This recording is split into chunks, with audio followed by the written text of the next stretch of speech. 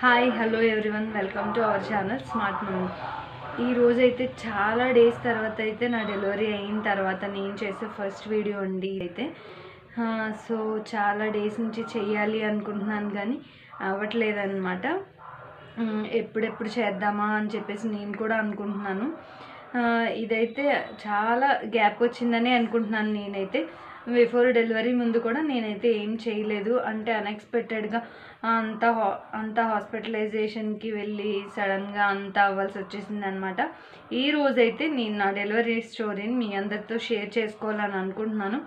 So చాలా రోజుల తర్వాత ఇన్ని రోజుల వరకు ఎందుకు వెయిట్ చేశాను అంటే అంటే ఒక ట్వంటీ వన్ డేస్ వరకు అలాగా అదేంటి ఒక్కపూటే భోజనం చేయాలి ఇవన్నీ ఉంటాయి కదా.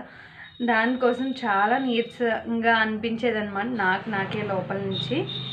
సో నేనంత ఎనర్జెటిక్గా మాట్లాడలేను. ఇన్ని రోజులు అయిన తర్వాత ఎనర్జెటిక్గా మాట్లాడదాము మీతో అని చెప్పేసి ఇన్ని రోజులు అందుకోసమే వెయిట్ చేశాను అనమాట సో హ్యా ఫైనల్గా అయితే నేను చాలా హ్యాపీగా ఉన్నాను. మా ఫ్యామిలీ కూడా అలానే హ్యాపీగా ఉన్నారనమాట సో మీ అందరూ కూడా నాకు చాలామంది అయితే విషెస్ చేశారు కదండి. థ్యాంక్ యూ వెరీ మచ్ మీ అందరికీ. ఈ రోజైతే నా డెలివరీ స్టోరీని మీ అందరితో షేర్ చేసుకోవాలనుకుంటున్నాను నేను. జస్ట్ సింపుల్గా అనమాట ఎందుకు అంటే ఫర్దర్గా ఎవరికన్నా ఓ ఓకే ఇలా కూడా ఉంటుందా అని చెప్పేసి అని అనిపిస్తుంది. అదేంటి అందరూ ఇంకొక లైఫ్ నుంచి చూసి తెలుసుకోలేరు. కాబట్టి అందరూ చెప్పరు. కాబట్టి ఇలాగ వ్లాగ్స్ లాంటివి చూసి తెలుసుకుంటూ ఉండేవాళ్ళు కొంతమంది ఉంటారు. వాళ్ళ కోసం అన్నది నేను షేర్ చేస్తున్నానండి యాక్చువల్గా అయితే. సో ఇప్పుడైతే నేను ఆ స్టోరీని డెలివరీ స్టోరీని మీ అందరితో చెప్పాలనుకుంటున్నాను అనమాట సో ఇప్పుడైతే నేను చెప్తాను. ఫస్ట్గా ఒక ఎయిట్ మంత్స్ వరకు అయితే కొన్ని కొన్ని ఇదేంటి వస్తూ వచ్చినాయి అనమాట కాంప్లికేషన్స్ నాకు కూడా. లైక్ ఉమ్మనీరు అది తగ్గిపోవడం ఎయిత్ మంత్లో ఇలా కూడా జరిగిందండి. సో దానికి తగినట్టు డాక్టర్ ఎలా గైడ్ చేస్తే అలాగ నేను చేసుకుంటూ వచ్చానమాట మా మదర్ కూడా అలానే టైం టు టైం నన్ను ప్యాంపరింగ్ చేస్తూ వచ్చారు. ఇంకా ఫైనల్గా నైన్త్ మంత్ వచ్చింది. మోస్ట్లీ నైన్త్ మంత్ వచ్చిన తర్వాత చేయవలసిన ఇంపార్టెంట్ అయిన విషయం ఏంటి అంటే ప్రతి ఒక్క అమ్మాయి ఈ ఘట్టాన్ని అయితే ఖచ్చితంగా ఫేస్ చేయవలసిందే అండి. ఇలాంటి దాన్ని ఓకే కొన్ని ఇదేంటి కొంతమందికి క్రిటికల్గా అనిపిస్తుంది అమ్మో ఇలా అయిపోయిందా అప్పుడు ఇలా జరిగిపోయిందా అని అనిపిస్తుంది. ప్రతి ఒక్క అమ్మాయి అయితే ఇది కంపల్సరీగా ఫేస్ చేయవలసిందే కాబట్టి సో అప్పుడు ఫేస్ చేసినప్పుడు ప్లెజెంట్గా కూల్గా ఉండి ఫేస్ చేసేసి ఆ తర్వాత దాని నుంచి బయటకు వచ్చాక కొంచెం అమ్మయ్య మనకంటూ ఓకే బాగా జరిగింది అంతా అని చెప్పేసి లేదు అలా అనుకోకుండా ఏంటబ్బా ఇలా జరిగింది? నాకు అప్పుడు అలా జరగకుండా ఉంటే బాగుండేది అని అలా అనుకోకుండా ఓకే ఆ ఫేస్ అంతా బాగా జరిగింది ఇప్పుడు నాకు మళ్ళీ మంచి జరుగుతుంది అని చెప్పేసి అలా అనుకుంటూ ఉంటే చాలా బాగుంటుందండి. ఎందుకంటే అందరూ ఫేస్ చేయవలసింది కాబట్టి ఇది. సో నైన్త్ మంత్లోకి వచ్చేసిన తర్వాత అయితే ప్రతి ఈ ఒక్కళ్ళు గుర్తుపెట్టుకోవాల్సింది ఏంటంటే ఖచ్చితంగా అయితే వీక్లీ వన్స్ డాక్టర్ దగ్గరికి వెళ్ళి చెకప్ తీసుకుంటానే ఉండాలండి. ఇది మాత్రం ష్యూర్గా చేయవలసిన పని. ఎట్టి పరిస్థితిలోని ఈ విషయాన్ని మర్చిపోకూడదు. ఆల్రెడీ మనకి డాక్టర్ కూడా చెప్తూ ఉంటారు ఇంకా ఏమాత్రం మూమెంట్స్ తగ్గినట్టు ఇలాంటివి అనిపించినా సరే వెళ్ళాలన్నమాట. వాటిలో ఆ విషయాల్లో అయితే నెగ్లెక్ట్ చేయకూడదు. సో నా గురించి చెప్పడం వచ్చేసరికి నైన్త్ మంత్ వచ్చేసింది వచ్చేసిన తర్వాత టెన్ డే. ఫస్ట్ వెళ్ళాను అనమాట వెళ్తే డాక్టర్ ఓకే అంతా బాగుంది అని చెప్పేసి అన్నారు. మళ్ళీ ఒక టెన్ డేస్ తర్వాత రావాలి అన్నారు. సో ఓకే అలా కూడా వెళ్ళాను అది కూడా బాగుంది అన్నారు. అంత చెకప్ అంతా చేసి నార్మల్ అవ్వచ్చు ట్రై చేద్దాం అని చెప్పేసి అన్నారు. మళ్ళీ ఇంకొక వన్ వీక్ తర్వాత చెప్పాను కదండి వీక్లీ వన్స్ వెళ్ళాలని టెన్ డేస్ తర్వాత వెళ్ళాక కూడా అలా అన్నారు ట్యాబ్లెట్స్ అది ఇచ్చారు. మళ్ళీ వన్ వీక్ అయిన తర్వాత వెళ్ళాము. ఓకే ఫిఫ్టీన్ డేస్ అయిపోయింది ఫిఫ్టీన్ డేస్ పైన అయింది కదా. సరే ఇంక ఇప్పుడు చెయ్యొచ్చు. ఒకసారి స్కానింగ్ తీయించుకోవచ్చు అన్నారు. ఎందుకంటే నైన్త్ మంత్ రాగానే ఒకసారి తీయించారు స్కానింగ్. అది కాకుండా మళ్ళీ ఫిఫ్టీన్ డేస్ అలా అయిపోయి స్కానింగ్ తీయించారు. ఓకే బాగానే ఉంది అని చెప్పేసి అని అనుకున్నాం. మేమైతే నాకు బాగానే ఉంది. నాకు ఏ విధమైన ప్రాబ్లమ్స్ లేవని నేను అనుకున్నాను యాక్చువల్గా. తీరా వెళ్ళిన తర్వాత స్కానింగ్కి ఇదేంటి కొంచెం ఏమని చెప్పారు అంటే ఉమ్మనీరు అది బాగుంది అంతా బాగుంది కానీ బేబీ కొద్దిగా వెయిట్ ఎక్కువ ఉంది నార్మల్ అవ్వడం కష్టం అవుతుంది ఇంకా బేబీ ఆ టైంలో స్కాన్ యాక్చువల్గా స్కానింగ్ వేసిన టైంలో పేగ్ మెడ అంటే బేబీ మూమెంట్ అవుతూ ఉంటుంది కదా పేగ్ మెడ వేసినట్టు ఉంది అని చెప్పేసి అన్నారు. ఓకే అయ్యో ఇలా ఉండకూడదు కదా అని చెప్పేసి అంటే అలా ఉంటే బేబీకి రిస్క్ అవుతుంది అని చెప్పేసి వెంటనే ఏమన్నారంటే నేను డాక్టర్ దగ్గరికి వెళ్ళాక వెంటనే సజెషన్ తీసుకుంటే చేసేసుకోవాలి ఆపరేషన్ అని చెప్పేసి అన్నారండి. లేదు అంటే ఫైనల్ వరకు మా మదర్ నార్మల్కి ట్రై చేద్దామని చెప్పేసి అనుకున్నారు. నేను కూడా అలానే అనుకున్నాము. కొన్ని కొన్ని సిచ్యువేషన్స్ అలా డిమాండ్ చేస్తూ ఉంటాయి. బట్ మా బేబీ అయితే పేగు మెడ వేసుకుని అయితే ఏం లేదండి. ఒక్కొక్కసారి స్కానింగ్లో అలా చూపిస్తూ ఉంటుందంట. ఎందుకంటే వాళ్ళు మూవ్ అవుతూ ఉంటారు కదా. అప్పుడు అలా చూపించే ఛాన్సెస్ కూడా ఉంటాయి అని అన్నారు. అందరి అంటే అలానే అందరికీ బయటకు వచ్చేటప్పటికి ఉండకపోవచ్చు అని కాదు. అలాగే ఉండిపోతుందని కూడా కాదు. కానీ ఉన్నది అని అంటే మాత్రం సిచ్యువేషన్ ఎలా ఉంటుందో తెలియదు కాబట్టి డాక్టర్ ఏ విషయం చెప్తే దాన్నే మనం ఫాలో అవ్వాలి. ఇప్పుడు అంతా అదే కదా జరిగేది. ఎందుకంటే ఏ చిన్న విషయం ఉన్నా మేము ఆల్రెడీ మీకు చెప్పాము. మీరే నెగ్లెక్ట్ చేశారు అని అంటారు. సో అలాంటి రిస్క్ ఏం తీసుకోకుండా సరే నార్మల్ వెయిట్ చేయడం ఎందుకు? మంచి రోజు చూసుకుని వచ్చేయండి అని చెప్పేసి అన్నారు. యాక్చువల్గా ఎప్పుడు నాకు చూసే రెగ్యులర్గా చూసే మేడం అయితే లేరు. లేకపోవడం వల్ల కొంచెం కష్టమైందనమాట ఏ హాస్పిటల్కి వెళ్ళాలా అని చెప్పేసి ఆలోచించాం. మళ్ళీ మాకు తెలిసిన వాళ్ళు ఎవరో ఒక ఇద్దరు ముగ్గురు తెలిసిన డాక్టర్స్ దగ్గరికి వెళ్తే ఆ రోజు నైట్ అయితే ఎవ్వరూ లేరండి. స్కానింగ్ చూపించి అంతా చేయించుకుందాము అంటే కొత్త కొత్త డాక్టర్ దగ్గరికి వెళ్ళి చూపించుకుని కొత్త హాస్పిటల్లో చేయించుకోవాల్సి వచ్చిందనమాట అంతా. ఒక్కొక్కసారి సిచ్యువేషన్స్ అలా కూడా మారిపోతూ ఉంటాయి. సో దాన్ని కూడా ఇది చేయాలన్నమాట. అంటే ఫస్ట్ నుంచి మనం ఫాలో అవి అంతా చేసి వచ్చిన వాళ్ళకి మన గురించి తెలుస్తూ ఉంటుంది. సడన్గా వెళ్ళిన వాళ్ళకి అంతా మన కోసం చెప్పుకుని వాళ్ళకి చేయాలన్నది కష్టమే కానీ అలా ఏం అవ్వలేదు. ప్లెజెంట్గా అయిపోయింది అనమాట అంతా. సో ప్లెజెంట్గా అవ్వింది సరే కదా అని చెప్పేసి వాళ్ళు ఏం చెప్పారు అంటే యాక్చువల్గా స్కానింగ్ చేయించుకున్నాం నెక్స్ట్ డేనే జాయినింగ్ అయిపోయింది అనమాట కాల్ చేసి అంటే డాక్టర్ గారు ఎలా నెక్స్ట్ డేనే మాకు ఈవినింగ్ చేయాలి అంటే ఓకే అన్నారు. సరే ఓకే అన్నారు కదా. అంటే ఆ నైట్ ఏం కావాలితే తినేచ్చు అన్నారు. మార్నింగ్ మాత్రం ఇంకా ఈవినింగ్ సెవెన్ తర్వాత చేస్తామన్నారండి. సో మార్నింగ్ నైన్ తర్వాత నుంచి ఏమీ తినొద్దు అన్నారు ఇంకా బ్రేక్ఫాస్ట్ కావాలితే ఏమైనా తీసుకోమన్నారు అంతే. అంతకు మించి హెవీ ఫుడ్ అయితే ఏం తీసుకోవద్దన్నారు ఓన్లీ మిల్క్ తీసుకోమన్నారు. ఆ మిల్క్ ఒకటి తీసుకున్నాము అంతే. ఆ తర్వాత నుంచి అయితే ఇంక నేనేం తీసుకోలేదు. ఇంకా ఈవినింగ్ వరకు. సో ఓ హాస్పిటల్కి అయితే వన్కి వెళ్ళామన్నమాట అదే కొంతమందిని ముందు రోజు జాయిన్ అయిపోమంటారు. యాక్చువల్గా మేము ముందు రోజే ఏ వెళ్ళడం మీదట మార్నింగ్ జాయిన్ అవ్వమన్నారు. వన్ ఓ క్లాక్కి ఆ టైంకి మా వాళ్ళందరూ భోజనం చేసి మాకు కావాల్సిన ప్యాకేజ్ అంతా సర్దుకుని ఆల్రెడీ ముందు నుంచే సర్దేసించింది. అంటే first of all ninth month రాకముందే బ్యాగ్స్ ఇవన్నీ సర్దించుకోవాలండి. ఎందుకంటే వచ్చిందంటే ఏ టైంలో సిచ్యువేషన్ ఎలా ఉంటుందో తెలియదు కాబట్టి అదే మా మదర్ కూడా చేశారనమాట అందరినీ అంటే మా ముందు వాళ్ళ సిస్టర్స్ ఉంటారు కదా వాళ్ళ పిల్లలకి అది అవి ఉంటుంది కదా వాళ్ళ దగ్గర నుంచి కొంచెం తీసుకున్నాను అనమాట సజెషన్స్ ఇవన్నీ అవన్నీ తీసుకుని బ్యాగ్ అది సర్దేసి అయితే ఉంచేశారు. సో ఆ బ్యాగ్స్ ఇంకా మాకు కావాల్సినవి అన్నీ తీసుకుని అయితే హాస్పిటల్కి వెళ్ళడం జరిగింది. వన్కి వెళ్ళాం అనమాట వన్కి వెళ్తే సిక్స్ థర్టీ ఆ టైం వరకు అలా ఉంచారు. తర్వాత ఇంకా డ్రెస్ అది చేంజ్ చేసేసుకోమన్నారు. సిక్స్ థర్టీ తర్వాత చేంజ్ చేసేసుకున్నాక ఇంకా హాస్పిటల్ రూమ్కి అయితే తీసుకెళ్ళిపోయారు. తీసుకెళ్ళి నాన్న అయితే ఎయిట్ థర్టీ ఆ టైంకి అయితే పంపించారండి. సిక్స్ థర్టీ అంటే ఎనస్థీషియా ఇవన్నీ వచ్చేటప్పటికి ఒక సెవెన్ ఫిఫ్టీన్ అలా అయిపోయింది. మొత్తం ఎక్కించి ఇవన్నీ చేసేటప్పటికి. సో ఫైనల్గా అయితే నార్మల్ కాదు. ఆపరేషనే చేయించుకోవాల్సి వచ్చిందనమాట సీ సెక్షన్.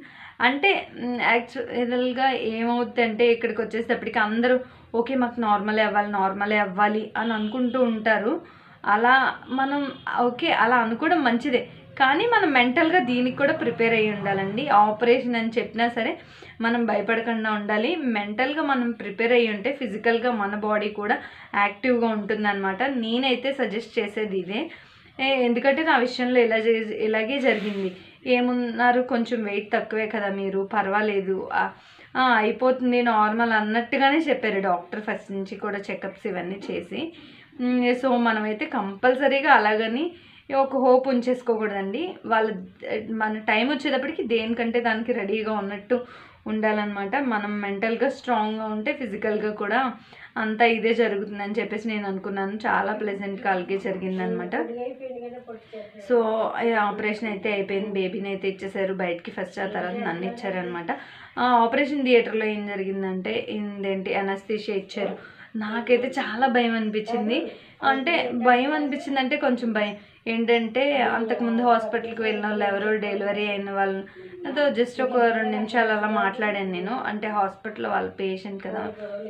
ఉంటే బేబీని అది చూసుకుంటుంటే నేను మాట్లాడితే నార్మలే చాలా బెటర్. ఆపరేషన్ అంటే బ్యాక్ బోన్కి ఇస్తారు ఇంజెక్షన్ అది ఇది అని కొంచెం భయంగా అన్నారు. నాకు ఇంకా భయం వేసేసిందండి ఆ మాట అయితే. నాకు ఉన్నాయల్లా అవే భయం అనమాట అమ్మో ఆ ఇంజెక్షన్ ఆ భయం వేసేస్తా అని చెప్పేసి అనుకున్నాను బట్ అలా ఏమీ అనిపించలేదనమాట ఓకే లోపలికి వెళ్ళిన తర్వాత వాళ్ళు ఆక్సిజన్ ఇది పెట్టారు. కళ్ళకి అయితే ఇది వేసేసారు. ఏమీ కనిపించకుండా నాకు అది మాత్రం చాలా సేఫ్. కొంతమందికి అయితే తెరే అడ్డు పెడతారు అని చెప్పేసి అంటారు. దానికన్నా కూడా మనకి కళ్ళకి పెట్టేస్తేనే ఏం కనిపించకుండా చాలా బెస్ట్ అండి. ఎందుకంటే మనకి ఏం తెలియదు ఏదో కళ్ళు మూసుకుని అలా ఉంటాము లేదా చీకటిగా ఉన్నట్టు అలా ఉంటుంది. అది మాత్రం చాలా బెటర్ అనిపించింది నాకు. అనస్థిషియా వచ్చి ఇచ్చారు. ఫస్ట్ ఇస్తున్నప్పుడు నాకు భయం వేసేసింది కానీ తర్వాత ఏమనిపించలేదు అనమాట ఓకే ఇచ్చేసారు. అయిన తర్వాత ఇంకో ఆపరేషన్ అనమాట ఇది కూడా నాకు సి సెక్షన్లో స్టిచ్చింగ్స్ కాకుండా జిప్ అయితే కొంచెం ఇదిగా ఉంటుంది. యాక్చువల్గా ఏదైనా ఒకటే కాకపోతే ఏదైనా ఒకటే అని చెప్పేసి అంటారు డాక్టర్స్ అయితే. కానీ స్టిచ్చింగ్స్ కన్నా కూడా మామూలు చేయించుకున్న వాళ్ళు ఏమంటారంటే జిప్ కొంచెం బెటర్ కొంచెం మనం ఫ్రీగా తిరగలుగుతాం కొన్ని రోజులకి అని చెప్పేసి అంటారుగా అంటారండి.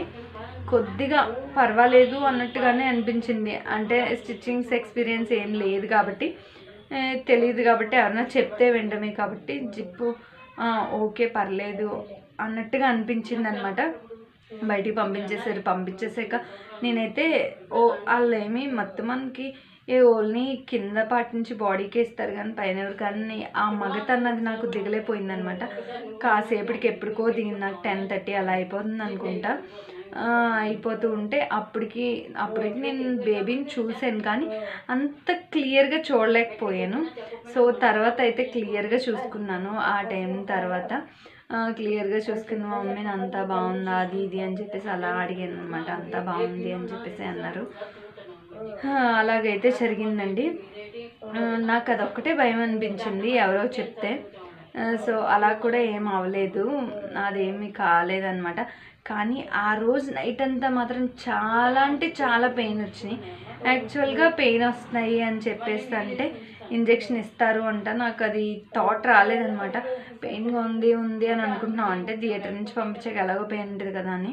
వాళ్ళు ఆల్రెడీ ఇచ్చారండి అక్కడికి ఇంజెక్షన్ మధ్యరాత్రిలో కూడా ఇచ్చేవారంట ఒక డోసు పెయిన్ కిల్లర్ ఇంజెక్షన్ ఇచ్చేవారంట నాకు బట్ అలా వాళ్ళని అడగాలి అని మా వాళ్ళకి కానీ నాకు కానీ తోయలేదనమాట సో ఇంకా నా మార్నింగ్ వరకు అలా పడుతూ ఉన్నాను. మళ్ళీ తర్వాత వాళ్ళు ఇంజెక్షన్ ఇచ్చారు. ఓకే బాగానే ఉంది.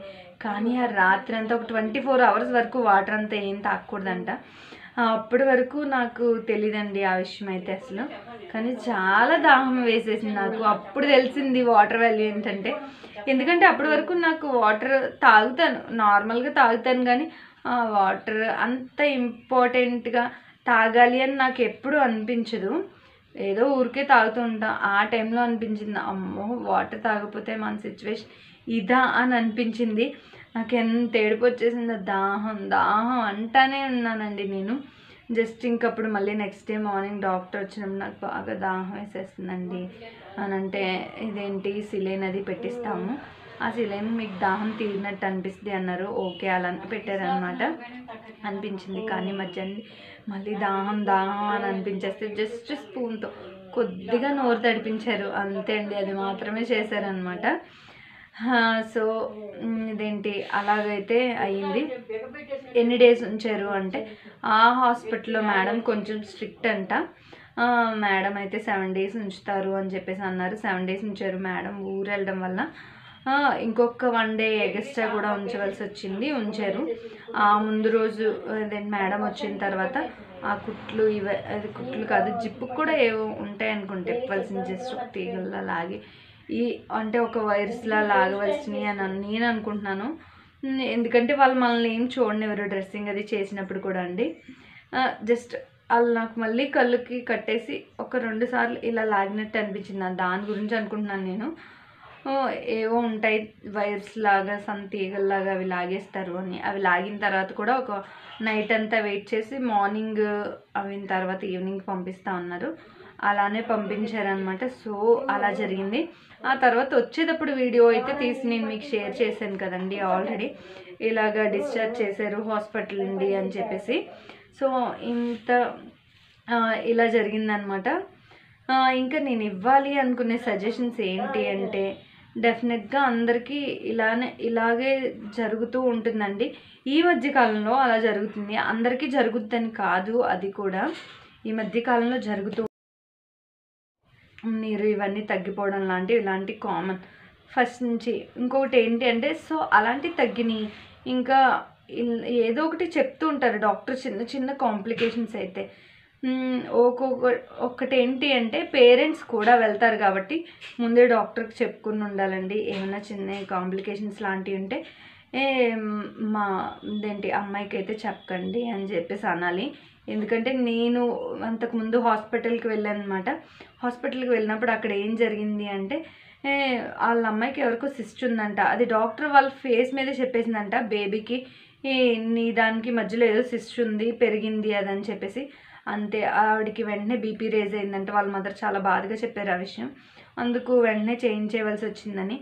అలాగే బీపీ రేజ్ అయిపోవడం లాంటివి చాలా ప్రాబ్లమ్స్ ఉంటాయి. దానివల్ల బేబీ ఎదగదు అని చెప్పేసి ఇంకా బ్లీడింగ్ అవ్వచ్చు. ఇలాంటివి అయితే చాలా ఉంటాయండి. సో ఏదైనా ఫేస్ మీద డాక్టర్స్ అలా ఏం అనుకోరు కాబట్టి వాళ్ళు చెప్పేస్తారు. కానీ ఎంతవరకు మన పేరెంట్స్కి చెప్పడమే బెటర్. మనకి చెప్పే కన్నా కూడా. ఒకసారి మీరు బయటకు వెళ్ళండి అని. మన పేరెంట్స్ మనకు కూల్గా చెప్తారు. అది మనకు వేరేలా ఉంటుంది. డైరెక్ట్గా డాక్టర్ చెప్పేస్తే మనకు ఇంకొకలా అనిపిస్తుంది అనమాట మ్యాక్సిమం పేరెంట్స్ ఎవరైనా ఎవరైనా ఖచ్చితంగా వెళ్తారు కాబట్టి వాళ్ళు ముందుగానే ఏదైనా బాగాలేదని చెప్పేసి వెళ్తేనే నార్మల్గా వెళ్తే కాదండి నేను చెప్పేది విషయం. ఎందుకంటే బీపీ ఆ టైంలో రేజ్ అవ్వడం అన్నది అసలు కరెక్ట్ కాదు. ఇంకా కొంచెం బ్లీడింగ్ లాంటిది కనిపించిన వైట్ కనిపించిన అది ఏ మాత్రం అయితే నెగ్లెక్ట్ చేయకూడదండి. కంపల్సరీ అయితే డాక్టర్ దగ్గరికి వెళ్ళాలన్నమాట. ఇంకా ఈరోజు పోయాక వెళ్దాం రేపు అవ్వాక వెళ్దాం అలా ఇలా అని చెప్పేసి అయితే అస్సలు నెగ్లెక్ట్ చేయకూడదండి. ఈ విషయం అయితే నేను ఖచ్చితంగా చెప్తున్నాను. ఎందుకంటే అంతకుముందు నేను ఒకసారి నాకేదో చిన్నగా ప్రాబ్లం ఉంది అని చెప్పేసి ఈ ఆశ్రమం హాస్పిటల్ ఈ ప్రెగ్నెన్సీ టైంలోనే ఆశ్రమం హాస్పిటల్కి వెళ్ళవలసి వచ్చింది. నేను అక్కడ చూసిన కేసులన్నీ ఇలానే ఉన్నాయండి. అందుకోసమే పర్టికులర్గా ఇలాగ బీపీ రేజ్ అవుతుందని చెప్పేసి షుగర్ వచ్చిందని చెప్పేసి పాపం చాలా పేషెంట్స్ ఉన్నారు అక్కడ. ఇంకా ఇలా బ్లీడింగ్ అయింది కొంచెం లేట్గా వచ్చింది దానివల్ల మిస్ అయింది అన్న అలాంటి కేసెస్ కూడా చూసామన్నమాట యాక్చువల్గా మేమైతే. సో దానివల్ల అయితే ఎట్టి పరిస్థితిలోని నెగ్లెక్ట్ చేయకూడదండి. ఇంకా ఇప్పుడున్న రోజుల్లో ప్రెగ్నెన్సీ అయితే ఏ ఇదేంటి మనం తినే తిండి కన్నా చెప్పలేము దేనికన్నా చెప్పలేము. వచ్చింది అని అంటే పేరెంట్స్ ఒక గాజు బొమ్మల్లా చూస్తున్న చూడాలండి కంపల్సరీగా. ఏముంది మా రోజుల్లో ఎలా ఉండేవాళ్ళం? ఇప్పుడు మీరు ఎంత అప్రూపం చేస్తున్నారు? ఎలా ఉంటున్నారేంటి అది ఇది అని చెప్పేసి అని పేరెంట్స్ అనకూడదు. పిల్లలు కూడా నెగ్లెక్ట్ చేసినట్టుగా ఉండకూడదండి. మా పేరెంట్స్ అయితే నన్ను అలాగే చూశారు. చాలా అంటే చాలా ప్యాంపరింగ్ చేసుకుంటూ వచ్చారనమాట ఈ నైన్ మంత్స్ అంతలా చూడడం వల్లే ఇప్పుడు అంతా కూడా ఇంత ప్లెజెంట్గా జరిగింది కంపేర్ టు చాలామందిని కంపేర్ చేసుకుని వచ్చి ఉంటే అని నేను అనుకుంటున్నాను అనమాట వాళ్ళ అందరికన్నా బెస్టే వచ్చింది అని చెప్పేసి నేను అనుకుంటున్నాను. సో ఫైనల్గా అయితే నా డెలివరీ స్టోరీ అంతా అయితే ఇలా జరిగిందండి. కొన్ని కొన్ని కాంప్లికేషన్స్ వచ్చినా సరే ఫైనల్గా అంతా బాగా అన్- హ్యాపీగా జరిగింది. ఈ విషయాన్ని నేను మీ అందరితో కూడా షేర్ చేద్దాం అనుకుంటున్నాను. అది షేర్ చేస్తాను. మీకు కనుక వీడియో నచ్చినట్టయితే డెఫినెట్గా లైక్ చేయండి షేర్ చేయండి కామెంట్ కూడా చేయండి. ఎవరికన్నా యూజ్ అవుద్ది అని అనిపిస్తే మాత్రం ఖచ్చితంగా షేర్ చేయండి. Thank you for watching.